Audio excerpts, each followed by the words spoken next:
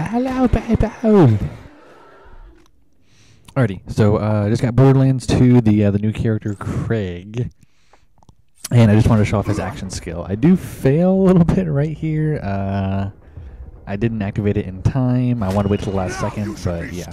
But here it is, you guys. You pull out this buzzsaw axe thing, um, and you can either throw it or just use it as a melee weapon. Tip, guys, do not, do not throw it.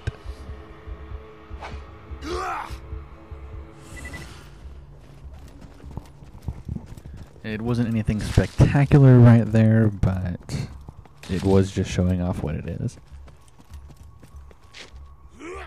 Um, it was my first time ever using it, and I just kind of wanted to show off what it was. Um, but again, do not throw it. It is really annoying. Uh, I don't think it does as much damage, and it's really hard to aim when you're trying to throw it, you guys. Um, just use it as a melee weapon. Just hit right trigger um, and just hit it. I've also never used this thing before, so I had no idea what it was. Uh, I just paid five dollars to do nothing, look at nothing. So today I recorded uh, a few different, few different gameplays. I recorded this uh, way early in the morning, and then I recorded uh, some Black Ops 2.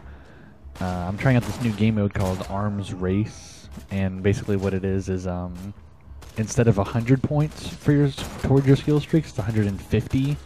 Uh, but it's the same exact rules as everything else. Like you play team deathmatch, uh, and it's 75 kills to the to the win. But it's but you get 150 points towards your score streaks. So uh, you generally put on score streaks that are a little bit higher than you're used to, and uh, it's a lot more fun because you're constantly hearing people coming in with a UAV, enemy UAV, AGR, hostile stealth chopper.